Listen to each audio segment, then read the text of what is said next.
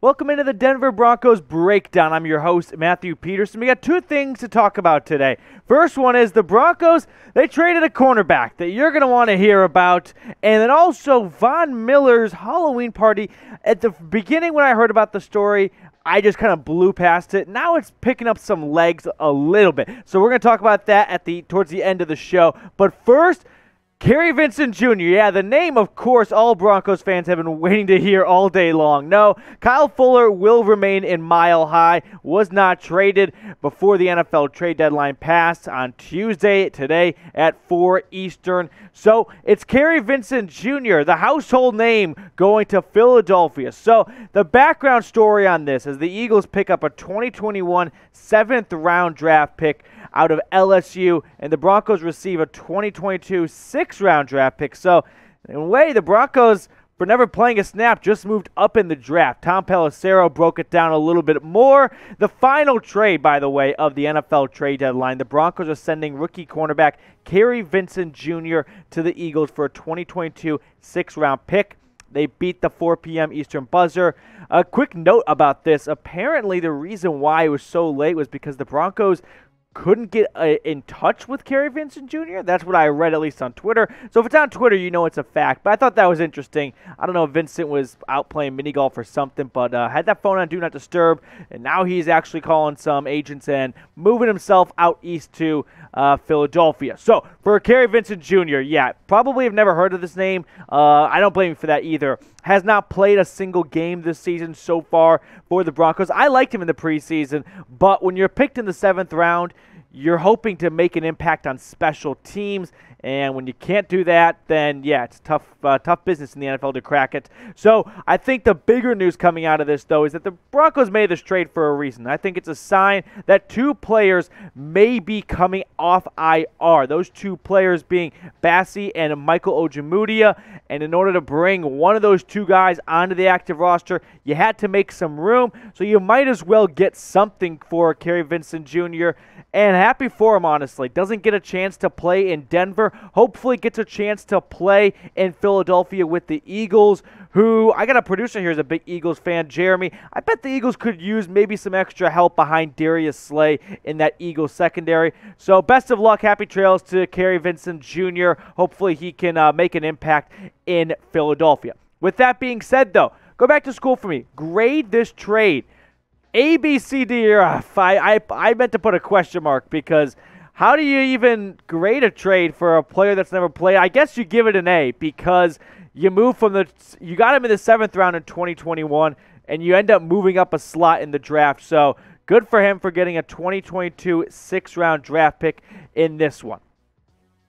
And that's where my big takeaway. That's why I'm giving this trade, I guess, a B. Right?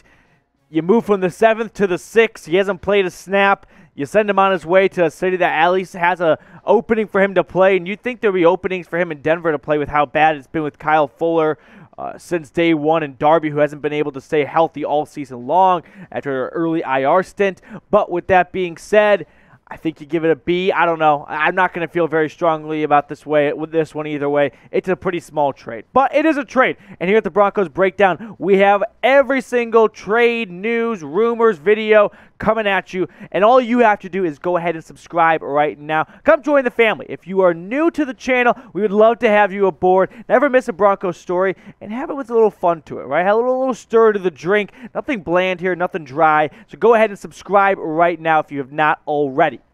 Now, I want to talk about Von Miller because that was a big trade, probably the absolute biggest trade so far this season. He goes to the Rams for a second and a third round pick. I, we're, we're going to talk about this trade in a little more lengthy detail, but there's been some rumors out there about maybe a Halloween party playing a factor in this. We're going to talk about that later on. But first, if you have not already, head on over to BetUS. Our sportsbook partner hooks you up with a 125% deposit bonus. And all you need to do is go to chatsports.com slash bet. Use that promo code right there Broncos 125 and boom, you put 100 in, you got 225 to play with.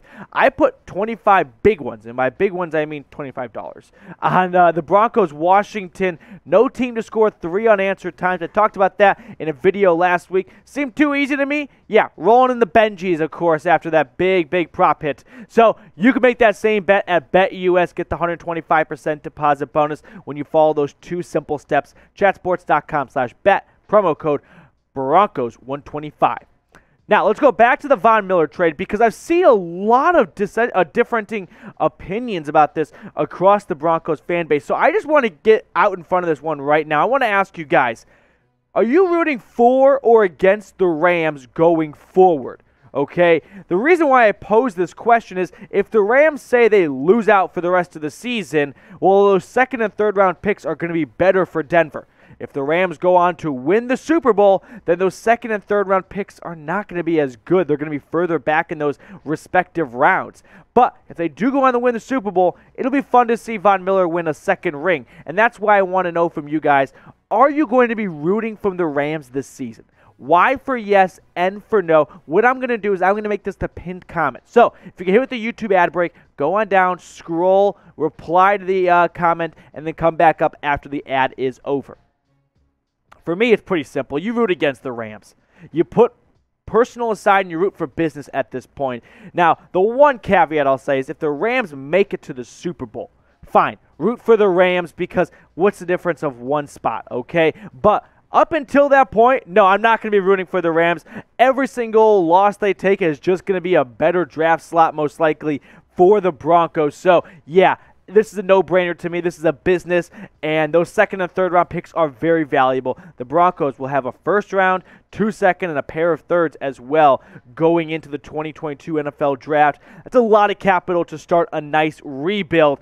Maybe that rebuild starts the quarterback. Like maybe take all those pieces and I don't know, trade for someone like Aaron Rodgers or Russell Wilson. We're gonna have plenty of conversations about that when we get into the offseason. And hopefully that when we get to the offseason, because I don't want to talk about the offseason while the season's going on, but if the Broncos keep losing, we may not have a choice. So we'll get to that later on. But also, let's talk about Von Miller a little bit more because he had a Halloween party go wrong. I, I the, the story continues to evolve.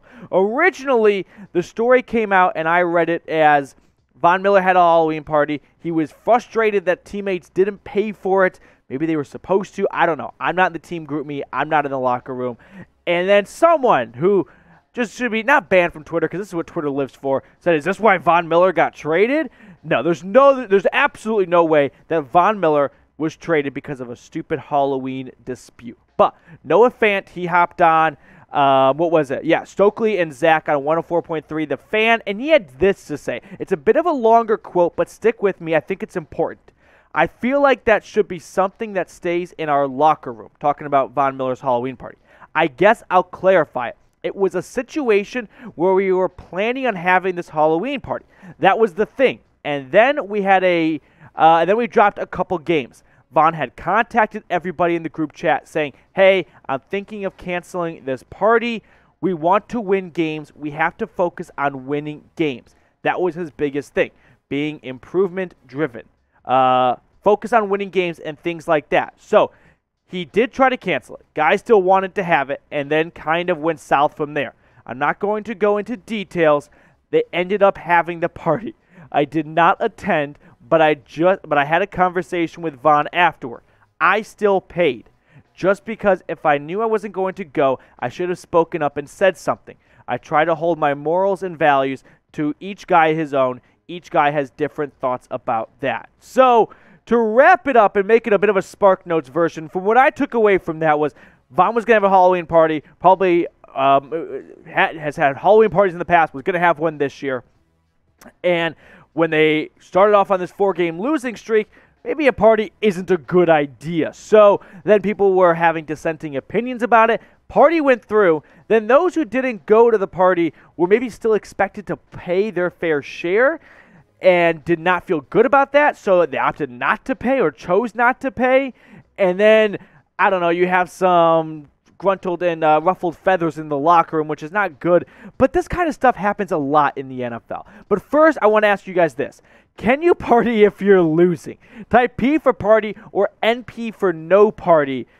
I don't know. The, the fun saying is you you know drink because you celebrate or drink because you lost to get the sorrows away.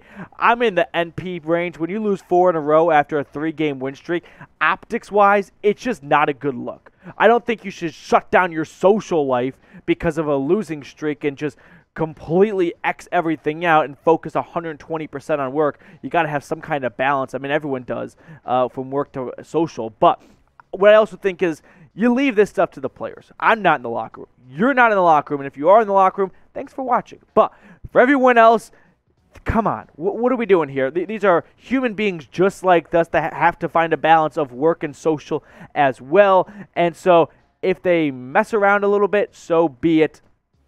Um, but my other takeaway from this one, what I wanted to get to, is that there's no way that this impacted the trade. Okay, so let's get that. Let's get in front of that right now. This party, this dispute, this paying matter did not impact this trade whatsoever. I do like this trade. I also like the Kary Vincent Jr. trade. You pick up draft capital for a guy that hasn't played a single snap for you all season long. That's a pretty good day for the GM right there. Speaking of the GM, do you like the trades the Broncos have made so far?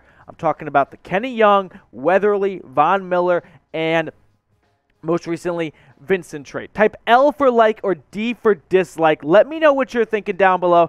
I'm going to go with like. You got some help at linebacker after you've been absolutely uh, just completely destroyed at that position on the depth chart due to injuries out of your control get a draft pick for a guy that hasn't played a snap all year, and you get a second and a third for Von Miller, who likely was on his way out at the end of the season, an aging defender. We don't like to hear it, but that's the cold hard truth right there. That's the pill you got to take. Von most likely was going to be leaving after this year anyway, and regardless, you can still re-sign him at the end of this year, so you could look at it like one of those soccer loans. And I don't know how those work, but I don't know. People that like soccer maybe explain to me down below. But regardless, let me know what you're thinking down below.